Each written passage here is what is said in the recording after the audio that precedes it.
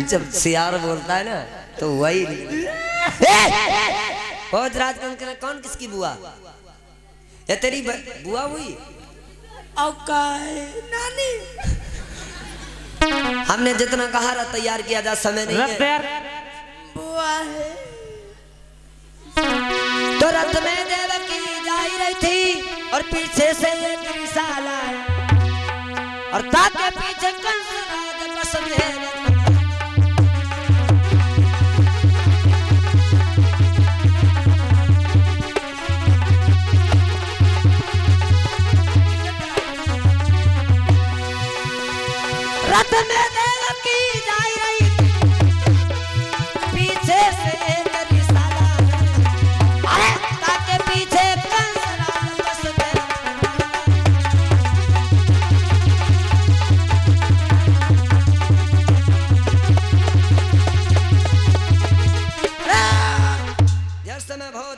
अपनी बहन को बड़े प्रसन्नता से जा है बहुत दूर निकल गया कंस का रथ। भेजने के लिए। इधर अंत में क्या हुआ? देवताओं ने सोचा कि कुछ किया जाए। नहीं तो कंस को ऐसे ही दया आती रही तो भगवान श्री कृष्ण को आने में विलंब होगा। उसी समय आकाशवाणी हुई। ये भोजराज, कंस कंस कंस कंस कंस। ये भोजराज, कंस। जो बैन देवकी के पीछे इतना तू आनंद मनाता है, आनंद मनाता है, आनंद मनाता है, आनंद इसी का आठवा पुत्र होगा, तेरा काल होगा काल होगा काल होगा काल होगा काल होगा काल होगा काल होगा, काल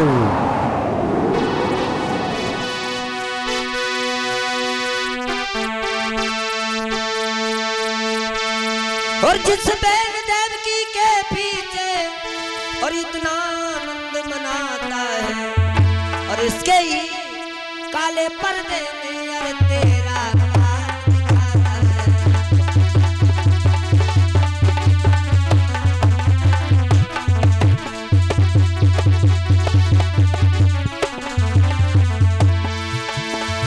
इसके गर्भ वाला देवों का मान बढ़ाएगा। तुझको तेरे अरे मित्र सहित यम की अरे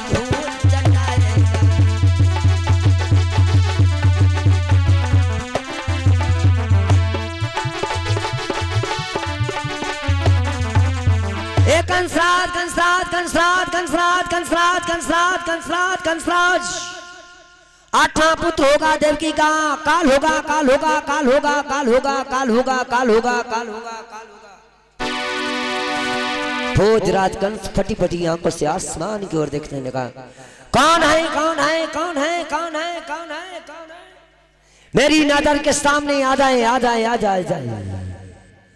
अरे, कौन है? जिसने बहन और भाई के प्रेम में बीच में दरार बना करके, अरे मैं इतने प्रेम से अपनी बहन देवकी को भेजने जा रहा था, और बीच में ये दरार किसने डाल दी? कंसराज फटी फटी आँखों से ऊपर देखता रहा, सोचने लगा, देवकी अगर रहेगी ज़िंदा तो आठवां पुत्र भी होगा, मेरा काल होगा, और मैं मरना नहीं चाहता। जाकर के देवकी के केसों को पकड़ा, और ज़मीन पे होटेल हमारा अरे या भागन और रोहानी जी के दरबार से बीस रुपए का दाना आया है। राम जी के पकड़ मंगल कामना है। भोजराज कंस ने जिस समय देवकी को कहते रथ के नीचे डाल दिया। केसव को पकड़ने के बाद में रथ के नीचे डाला। नगन तलवार निकाली। अरे देव देवकी तुझे मैंने अपना इतना सेया पाला। और तेरे गरज से मेरा काल होगा।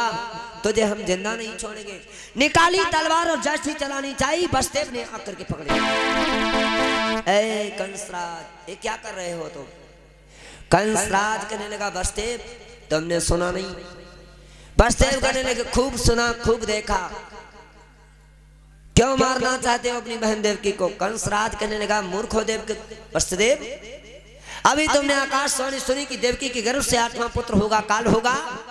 मैं इसीलिए देवकी को मानना चाहता हूँ। ना रहेगी देवकी ना कोई पुत्र होगा। बस देव महाराज जी कहने लगे सुनो कंस। आज तक ये तुम्हारी बहन रही। अब मेरी पत्नी हो गई। अब मेरा धर्म बनता है कि अपनी पत्नी की रक्षा करना मेरा कर्तव्य बनता है। और जब तक मैं ज़िंदा रहूँगा तब तक तुम देवकी को नहीं मार सकते।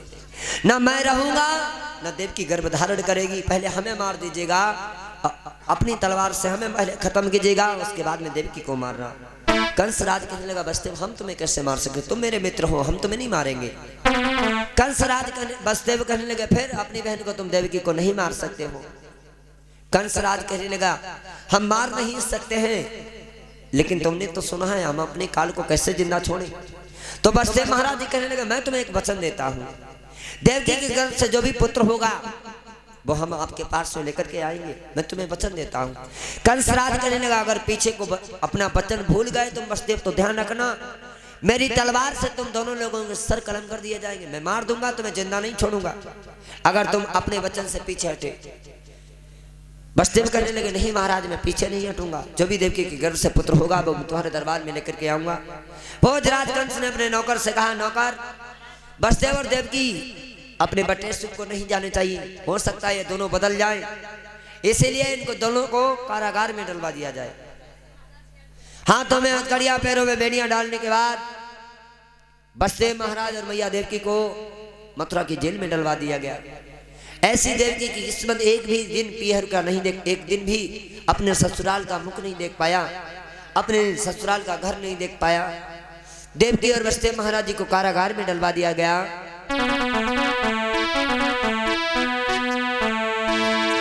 जैसे में भोजराज कंस ने देव की और वसुदेव को कारागार में डलवा दिया।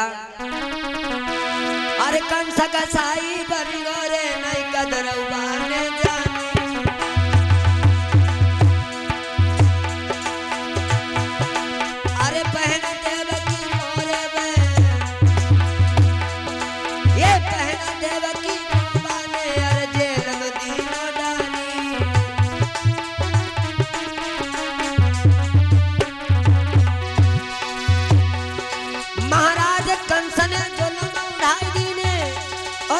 और देवकी बस देव कारागार में डाल दीने।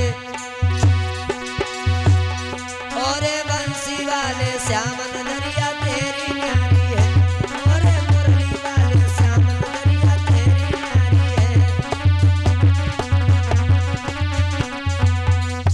बसते देव की मैया को जेल में डलवा दिया, कंसराज ने नौकर से कहा, नौकर, ए राजमंत्री, आज से तुम देवकी के पास पहरेदारी करोगे।